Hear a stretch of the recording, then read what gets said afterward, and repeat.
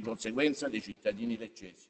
È a quest'ultimi che occorre dare una risposta, far sì che partecipazione e trasparenza non restino solo termini vuoti, ma diventino effettivi e concreti segnali di cambiamento nei confronti della nostra comunità che chieda a gran voce di essere ascoltata. Da autorevoli esponenti della maggioranza ho ricevuto esplicite richieste per fare ripartire i lavori in aula consigliare e comunque adottando una nuova piattaforma che consenta la partecipazione di tipo misto.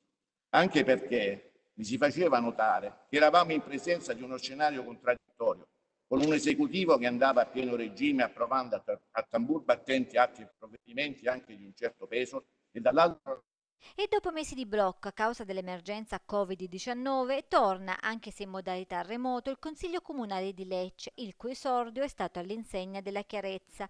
Indicativo il primo intervento del Presidente del Consiglio Carlo Mignone, il quale ha chiesto più partecipazione da parte di tutti i componenti, che siano essi della maggioranza o dell'opposizione. Un confronto reso difficile dalle connessioni ballerine e dagli interventi che non sempre avevano un audio chiaro, ma almeno un ritorno in pubblico politico. Dopo oltre due mesi, infatti, le parti politiche hanno provato a riavviare un confronto diplomatico nell'interesse dei cittadini.